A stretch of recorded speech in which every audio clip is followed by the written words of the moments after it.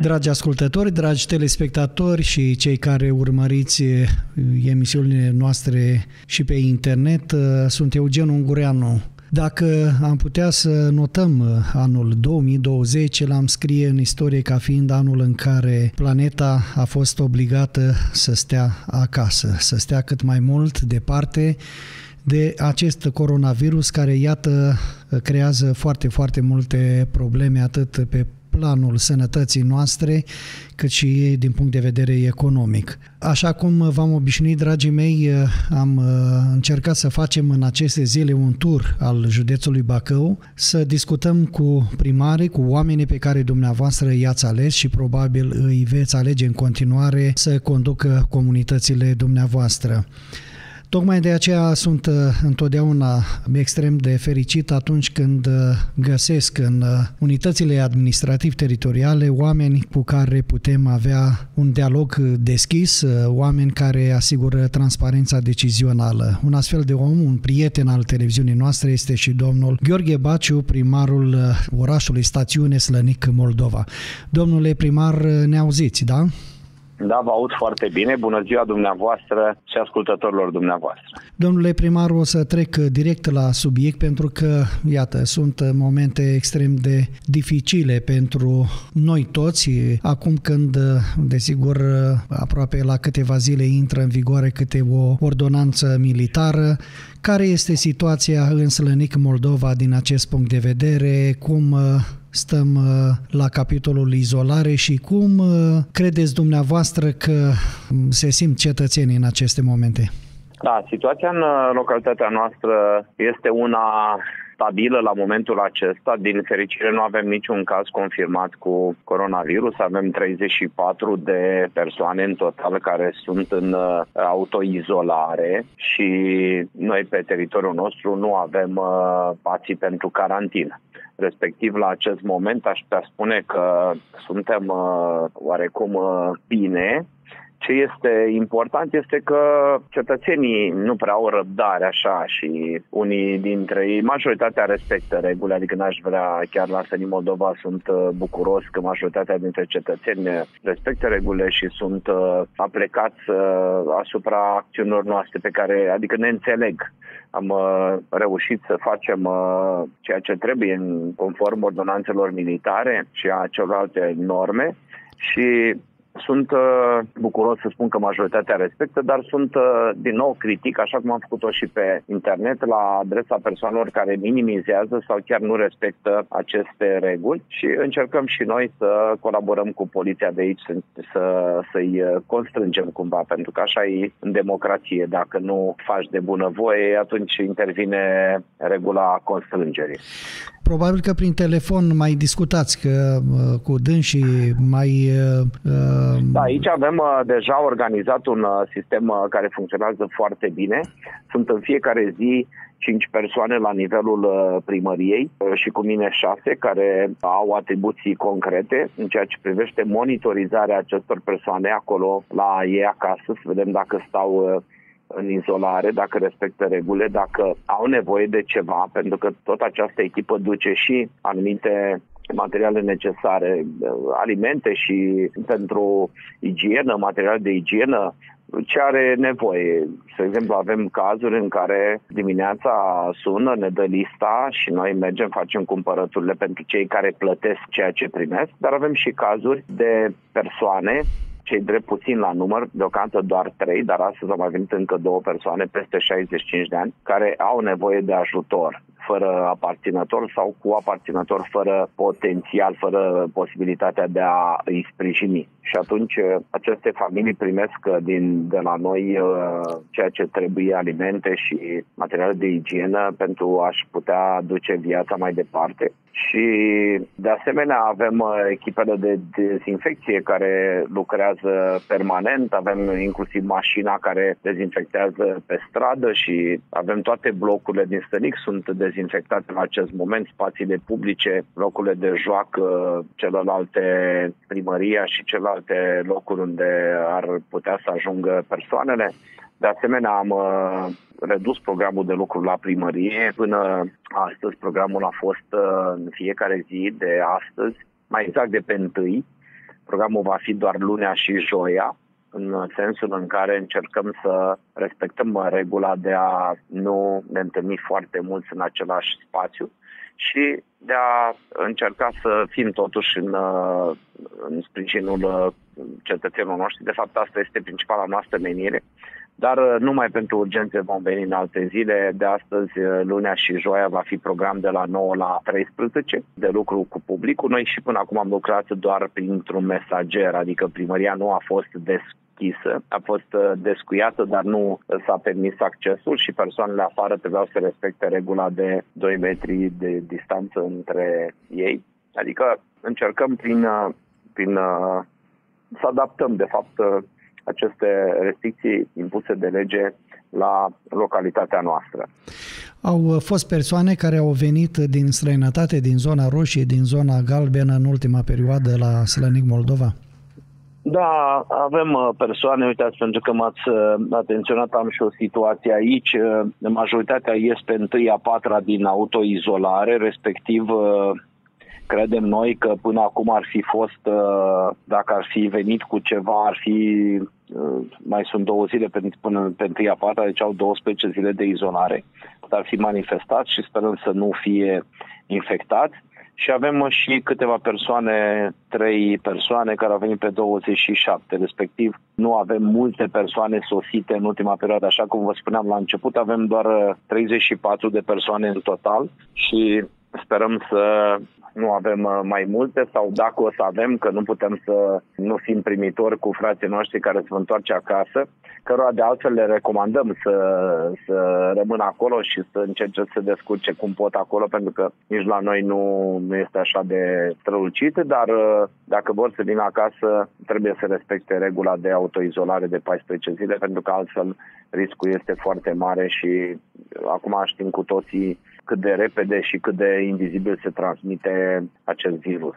Domnule primar, în această perioadă sunt convins că anumite persoane au nevoie de anumite lămuriri, de anumite informații de la uh, primărie Tocmai de aceea o să vă rog să indicați un număr de telefon fix unde aceștia pot suna și, de asemenea, dacă aveți la îndemână și o adresă de e-mail pentru da, corespondența electronică. Vă rog. Știu pe din afară. Vă rog. da.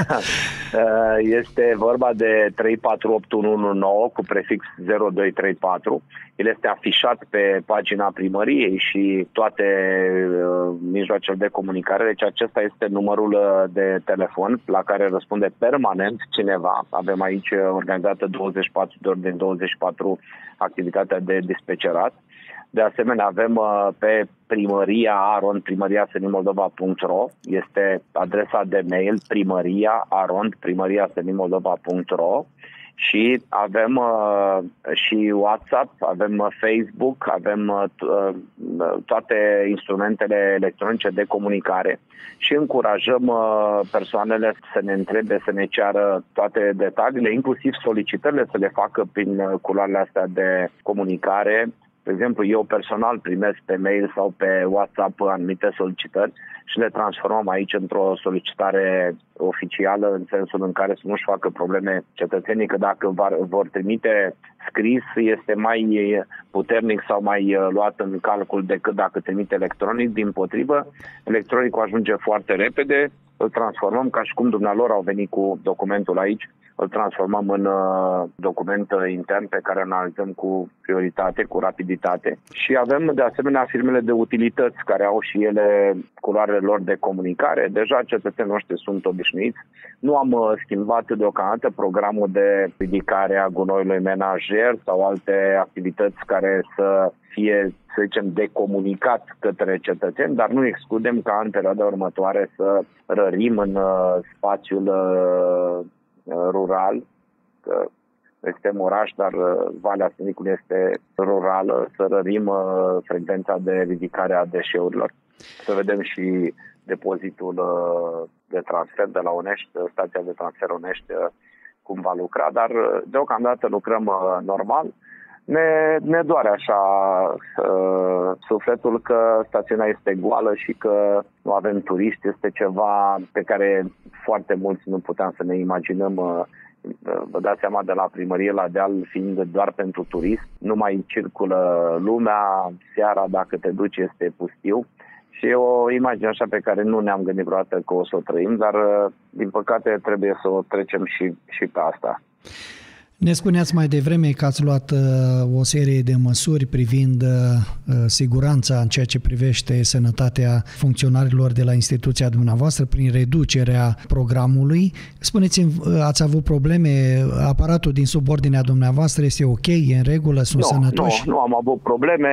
Nu, nu sunt probleme de sănătate, doar asistenta medicală din instituția noastră, asistenta medicală școlară este bolnavă, are conced medical chiar astăzi l-am primit, nu, nu m-am uitat atent la cauze, dar sigur nu sunt legate de coronavirus. Funcționarii sunt uh, în regulă, de altfel, domnul Ungureanu, eu am 10 zile de când am luat decizia să lucrăm alternativ și uh, unii colegi sunt uh, acasă și pot face munca de la distanță, telemunca, de altfel cum este denumită acum în legislația românească și vă spuneam că de pe întâi voi uh, acorda concedii de odihnă, mai sunt niște concedii de zile de concediu din 2019 neluate și cu prioritate persoanele respective se vor duce acasă și după aceea vom lua și, vin și sărbătorile, vom lua concedii de odihnă pentru anul acesta.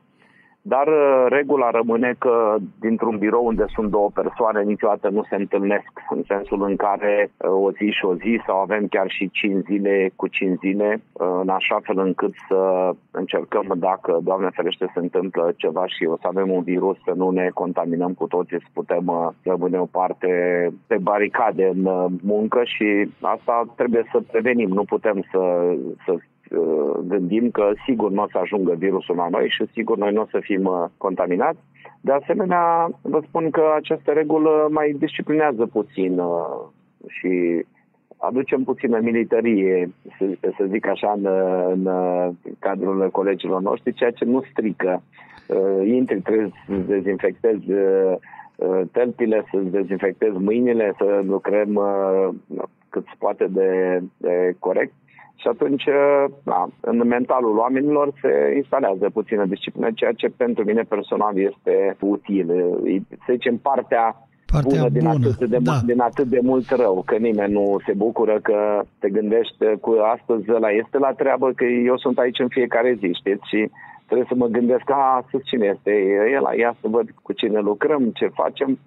Dar eu sper să trecem peste asta și să nu ne afecteze financiar, pentru că dacă lucrurile se lungesc foarte mult, noi nu o să avem de unde să acordăm uh, venituri peste drepturile salariale sau dacă nu o să lucrăm uh, mai mult de o lună de zile, să, să zicem, noi nu o să putem uh, accepta ca nemunca să fie plătită.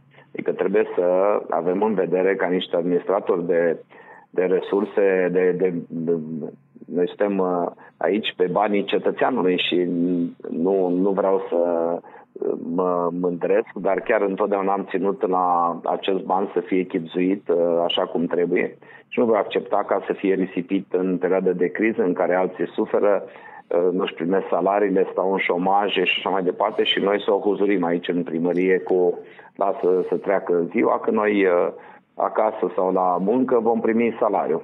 Deocamdată nu avem măsuri de concediu fără plată sau alte măsuri. Uitați, chiar și la salubritate sau la apă unde uh, munca s-a redus uh, în teren, mă refer, pentru că la stația de apă și de epurare nu trebuie să stea permanent cineva, indiferent cât uh, clienți avem. Acolo facem alte activități. Am, avem reparații, avem anumite lucruri de făcut și parcul central pe care îl pregătim. Acum e o perioadă în care, chiar dacă nu avem turiști, noi pregătim uh, trandafirii și, din păcate, nu avem pentru cine să punem flori. Vedeți, o, o primă o primă mâhnire este că am uh, lucrat în seră toată iarna și am uh, pregătit florile pentru panseluțe și ce mai trebuiau puse și acum uh, ne gândim să le punem, să nu le punem. Dacă le punem, uh, nu are cine să se bucure de ele și avem o cheltuială. Dacă nu le punem, am muncit până acum cu ele și avem o cheltuială.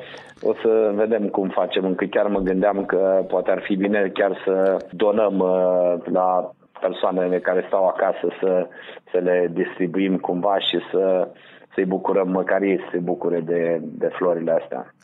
Da, e, ar fi o idee foarte bună, mai ales că dumneavoastră sunteți un om uh, deschis și cu sufletul către uh, toate categoriile de vârstă. Sigur, uh, trebuie să avem speranța că vom trece și peste aceste lucruri într-o perioadă, nu știm cât, dar eu sunt convins că oamenii vor ajunge și la momentul când se vor bucura din nou de frumusețea slănicului.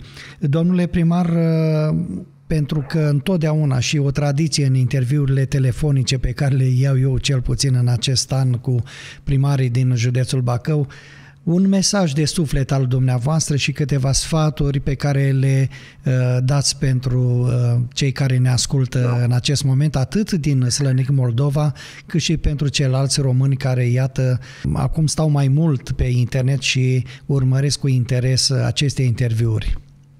Da, Domnul Ungureanu, prima dată le transmit un mesaj că sunt aproape de cei care suferă, de cei care sunt izolați sau chiar uh, care sunt afectați de acest virus. Viața mea a fost presărată cu asemenea momente la șase ani și jumătate. Când eu aveam șase ani și jumătate am fost sinistrat. După aceea am trecut uh, o familie numeroasă, am trecut prin multe situații de criză în viața mea și vreau să subliniez că îi, îi înțeleg și sunt alături de ei mai ales că am trecut și eu prin această situație, această, printr-o situație similară și sunt alături și voi face tot ce pot ca să minimizăm uh, suferința lor, eventual uh, nevoia lor de a fi ajutat va fi uh, cu siguranță întărită în momentul în care aceștia au nevoie. Acesta este primul meu mesaj, pentru că sunt oameni care suferă.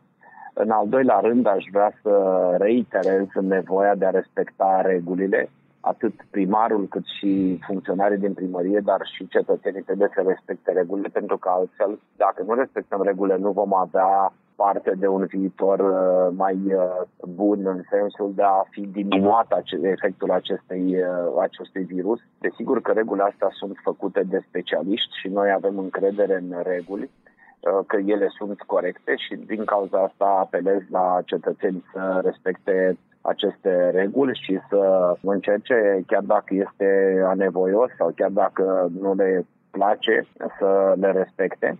Și în al treilea rând aș vrea să transmit un uh, mesaj de sărbători fericite, vin sărbătorile de Pascale, poate mai vorbim până atunci, poate nu, dar uh, aș vrea să le urez ca chiar și de la distanță să asculte rugăciunile, că acum sunt uh, foarte multe canale de radio și televiziune care transmit slujbe, să încerce să-și imagineze că sunt într-o biserică și să se roage ca și cum ar fi acolo și să ne rugăm împreună pentru ca localitatea noastră, România, în general, să progreseze și să ne rugăm să ne dea Dumnezeu puterea și sănătatea necesară ca să facem cât mai mult pentru comunitățile noastre și să încercăm să nu trecem prin viața așa uh, fără să lăsăm ceva sănătos în urmă. Știți, uh, spunea cineva că nu contează cât vei fi primar, contează după ce nu mai ești primar ce ai lăsat în urmă și aș vrea să-i asigur că eu lupt pentru acest lucru și zilnic fac cât de mult pot ca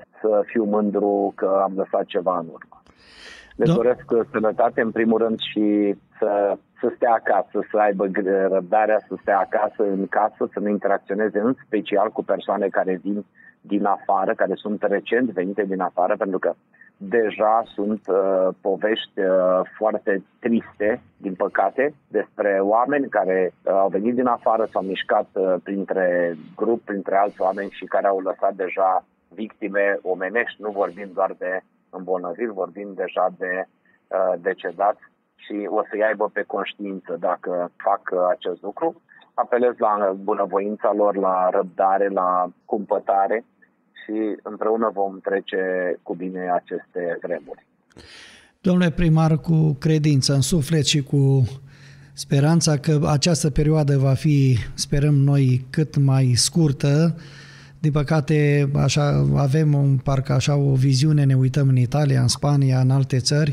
Poate că românii vor arăta de această dată că sunt mai uniți, că sunt mai solidari și tocmai de aceea am ținut neapărat să discutăm și cu dumneavoastră și vă mulțumim foarte mult pentru amabilitate și vă dorim multă, multă sănătate. Mulțumesc tare mult, domnul Ungureanu, și eu apreciez ceea ce faceți pentru ca oamenii să fie informați.